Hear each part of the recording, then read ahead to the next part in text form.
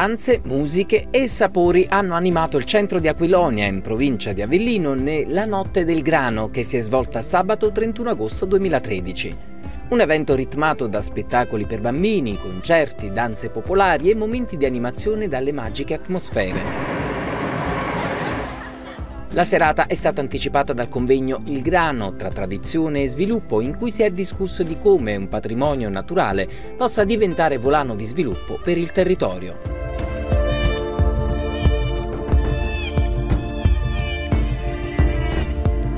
La manifestazione nasce perché eh, è nostra intenzione quella di rilanciare tutto il territorio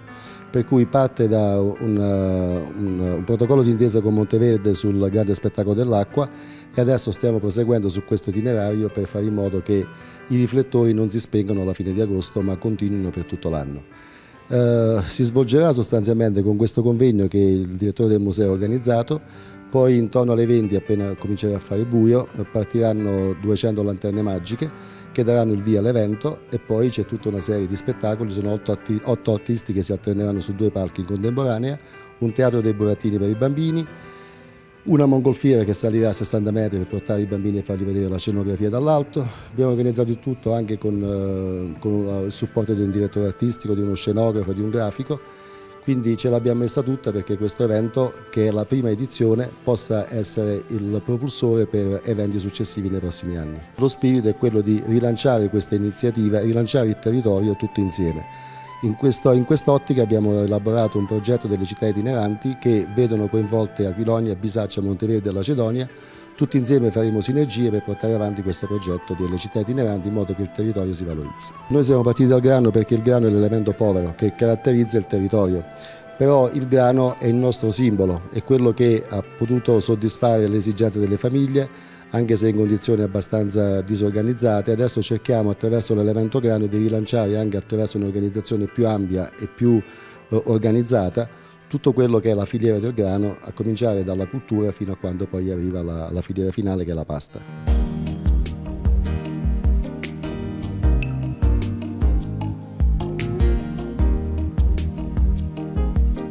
È apprezzabile questa iniziativa in un territorio che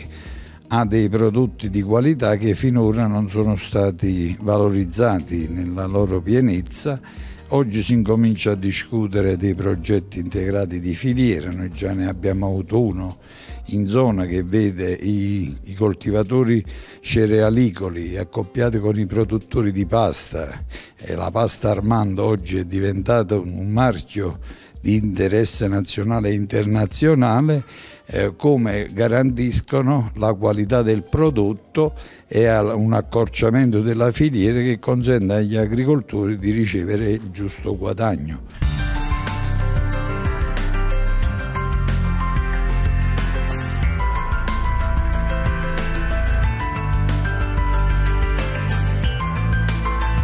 Quanto è importante il grano per questi territori? Il passaggio da un'economia silvo-pastorale alla granicoltura che cosa ha significato? Eh, sicuramente è stato un processo di lunga durata che è, mm, è durato perlomeno 400-500 anni, iniziato nel 500 e ha cambiato profondamente non solo il paesaggio della storia ma anche l'economia e anche i rapporti sociali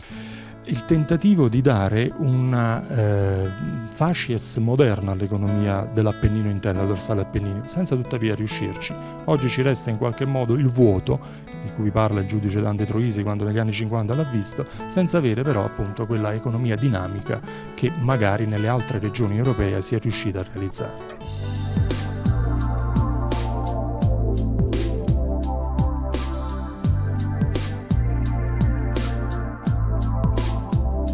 La mia esperienza trae origine da un'evoluzione che la famiglia che mi onoro di rappresentare ha avuto nel corso del suo percorso imprenditoriale, quando ceduta la Monticchio Gaudianello SPA ha investito in cerealicoltura e quindi di lì la semplice equazione eh, grano uguale pasta. È cominciato un progetto importante che sta crescendo mh, negli anni um, fino ad oggi che ha um, creato una realtà di 40 dipendenti articolata su tre turni di produzione. Um, grazie grazie all'idea di produrre pasta fresca in atmosfera protettiva, ripercorrendo un po' quelle che sono le um, tradizioni della cucina e gastronomica um, lucana. Dalle dimostrazioni di volo in mongolfiera al teatro ragazzi, dalle musiche popolari ai concerti che hanno animato tutta la notte, senza dimenticare i sapori della tradizione che è stato possibile degustare durante la serata. Abbiamo voluto accontentare tutte le fasce di età, soprattutto i bambini perché è una serata magnifica, finalmente una coda d'estate particolarmente eh, bella come serata, quindi abbiamo una bella mongolfiera ancorata che accompagnerà per questa esperienza anche per cambiare un punto di vista, andare un pochettino più su. E poi ci sono gruppi fantastici che si avvicenderanno come i Brigandi Bottari, come i, i fantastici Musica Manovella, ehm, i Tamamburiati, cioè tutta, e poi arrivano i ragazzi della Città dell'Utopia che arriveranno nella Sultardi, Gerardo Balestrieri,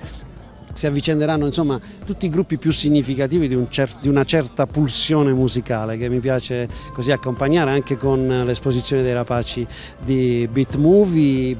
il, il fuoco di Lucifero come anche eh, One Man Band con Michele Caccaba che in questo momento sta facendo i burattini.